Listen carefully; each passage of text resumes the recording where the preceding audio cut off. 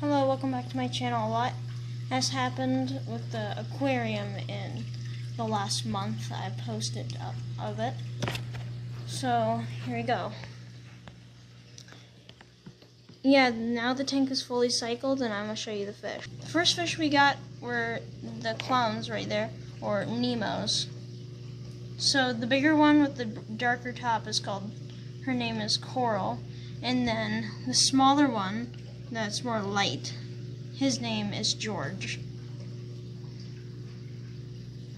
And they were our first fish.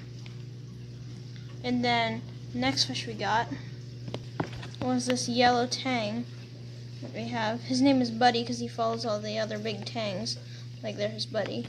And then we have a sailfin tang. He doesn't have a name yet. And we got him with the brown powdered tang. He does not have a name either.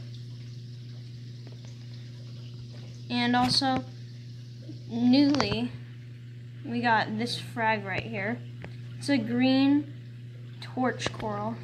And then over here, we got a blue torch coral. And it's just not showing its color right now. And then, as you can see right there, that green thing on the rock side is a snail. And we have some more on the tank walls and more on the rocks.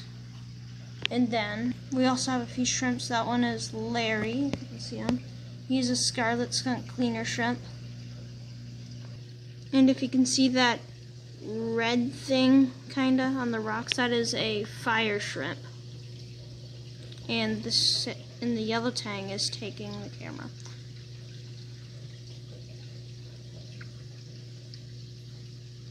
So yeah.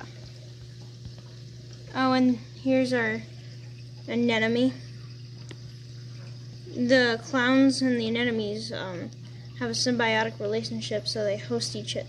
So one will host, they will both host each other, and the clownfish get protection, and the anemone gets food from the bacteria and stuff on the clowns. But ours is too small, and the clowns just don't care about it right now.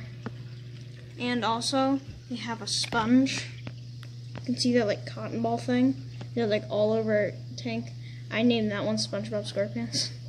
As you can see, our sump is filled. Our refugium part of the sump is filled with the sponge, pineapple sponges. And yeah, we still have two lights on, and we got an extra pump. Just for more flow. And yeah, I'm gonna go to the new aquarium. Here's a new tank that we got. It's a quarantine tank. The reason why we got it is because that fish over there had ick once we got him off of line. And the things that we have in the tank is that live rock for beneficial bacteria to live on. We have that PVC pipe. And then we have this quiet flow filter.